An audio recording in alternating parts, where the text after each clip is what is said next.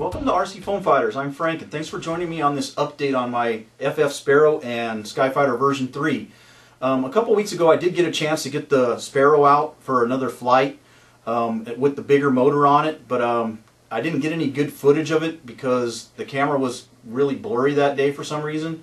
Um, it didn't really matter because uh, within the first few minutes of the flight um, one of the spars broke loose and the plane started flapping its wings like a bird. so it was living up to its name, the Sparrow.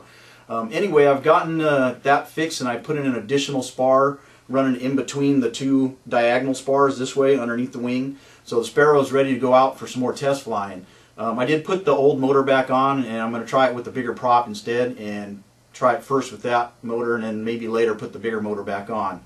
Um, as far as the uh, Skyfighter version 3 goes, um, I didn't really like the way that the Doppler readings came out on the videos that we took. Um, so that's why I haven't really posted any of the speeds in the, the speed challenge yet.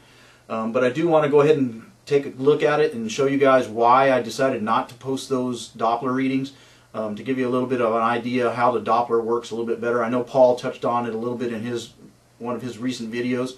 Um, I wanted to go in a little bit more and show you guys how it works and how you can read the files a little bit better.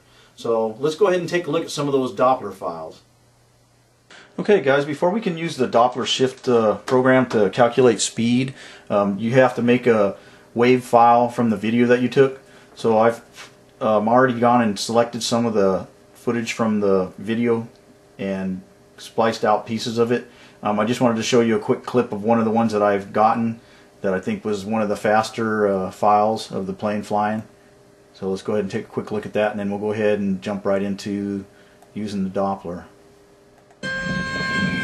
Okay, this was probably one of the fastest passes that I had. Okay, after you've selected the pass, we want to go ahead and save it as a WAV file. Um, Paul and I use Sony Vegas for all of our video editing and we can just go in here and render it as whatever type of file we want. So I just chose a WAV file. If you have any other kind of uh, video editing program, you should be able to um, probably convert it into a WAV file. If not, you can probably download some kind of free program off the internet that will convert uh, movie files into WAV files. Um, so basically I've created a folder to keep all my WAV files in and I'm just going to save this one in there. Okay, the file is saved in there. And now we just go into WaveOscope, open it, and take a look at the different wave files. I've already saved several different ones from different passes on here, so we'll take a look at a couple of them. I'm going to go ahead and close this. Alright, on WaveOscope you can choose the colors that you want to look. These are just basically the right and left channels. There's red for one side, green for the other. I usually click on both of them so that it gives me a more solid lines to look at.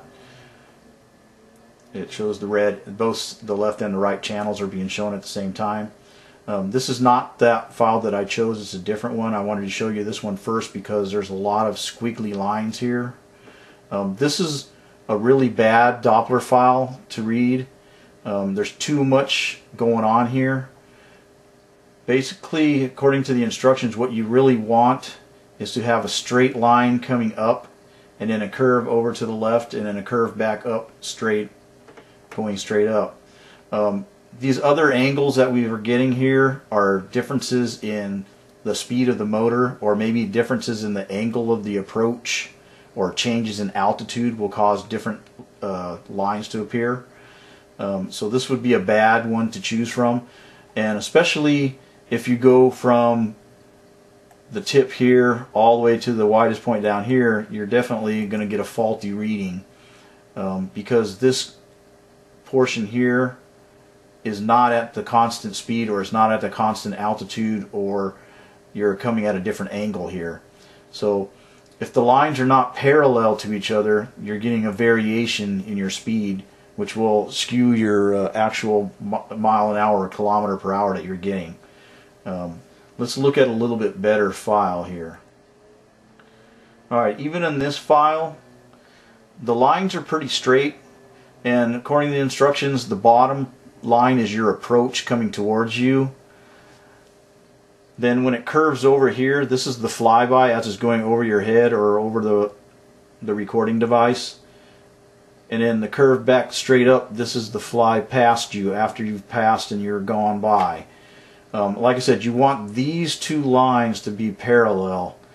Also this bumpiness in the curve is saying that there's something happening here as well that's not 100% right um, it should be a smooth pretty straight line as well but there's kind of an undulation in there um, according to the instructions you want to sample the sound wave file at a, between 8,000 hertz and 16,000 hertz. So um, you want to start at the top and left click and it's usually on this file is pretty close to somewhere in the middle. So I'll pick this one here and see where we're at. Okay that's actually kind of low. It's still at 4,000 hertz so I'm going to come over a little bit farther. See if I can see one that's still good. Alright, that's at about 7,000 there. So we'll follow that line over and come down here to the bottom where it's straight again and left click. Okay, and then it reads in between these two points and gives you the difference. Um, it's giving a very high reading. It's saying 341 kilometers an hour. And I know that can't be right um, because I only calculated the speed of the plane the prop speed was only calculated at about 185. So let's see what this actually comes out to. It's saying that that's 211 miles an hour on that pass. Um, even with the 20 mile an hour wind, um, I don't think that it's. The plane should not have been capable of reaching that speed at 185 plus 20. It's not going to be that fast. Plus, you're not going to ever really hit 100% of what your prop pitch speed is. Usually, you're going to be about 10% less. So this file here, and another reason I know that it's probably not accurate is because the farther over left you get, the higher the speed goes. So right now we're at this far over, we're at 341. If I come even farther left, it goes way up. Here it's saying 388 kilometers an hour. And that's just not true. It, it was not going that fast. I know for sure the plane was not doing 230, 240 miles an hour. Alright, we'll take a look at one other file. This one here looks cleaner than the rest of them. Let's go ahead and put it on. Okay, double colors on. It's again, it's coming pretty close to straight up, then it curves over, and there's no undulations really in the, the curve over, and then it comes back straight up. And even here, I'm still pretty sure that it's not 100% accurate because I don't think the plane was flying straight at the camera. It was coming at an angle. But let's see what kind of speeds we got from this one.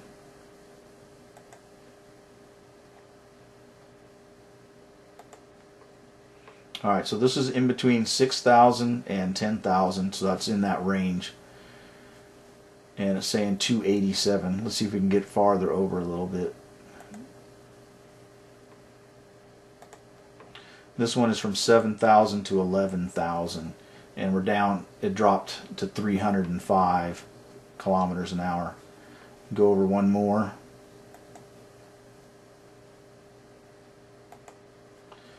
And it's back up to 321. So there's a lot of variation in the speed here and that's why I don't want to use any of these files to enter into the speed challenge because I don't honestly believe that these are accurate.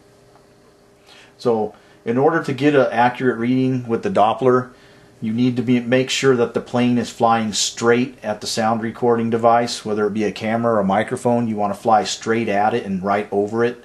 The plane should be flying level and at full throttle the whole time. Um, if you're varying the, the speed of the engine, it'll change the pitch of the noise and it'll change the Doppler reading. If you're climbing or descending, it'll also change the distance to the microphone, which will also change the sound in, in a way that will affect the speed. Um, veering to one side or the other will also show up. And like I said, you can usually read it in the the wave files. If you have a really clean one that comes straight down, then curves over and comes straight back down, that's usually pretty good. But another indicator would be going from one side to the other, and if you see a very large variation in speed, it's probably not accurate either. So we'll go ahead and uh, we're going to discard these ones um, I'm still thinking the plane was pretty fast, so I'm hoping that it's hitting in the, my target range that I was planning on of about 170. Uh, which I think would probably be a little more realistic than these numbers here. Um, they're just way too high. Okay guys, I think this is a good spot to go ahead and finish up the video. Um, wish me luck for next weekend if the weather's better so we can get both these planes out and uh, get some speed clocks on them. Uh, before we go, I just wanted to remind everybody, please don't forget to sign up for RC Foam Fighters free giveaway this month. Um, you do have to go to the video and post a comment in the comment section that says um, you want to be entered in the drawing. Um, I'll put a link in the video sidebar to that video so that way you can get to it. Um, you do have to be a subscriber to enter, so please, if you're not a subscriber, subscribe first and then put your comment in the comment section of that video, and you'll be entered in the contest. Um, thanks for watching RC Foam Fighters, and I'll see you guys again soon.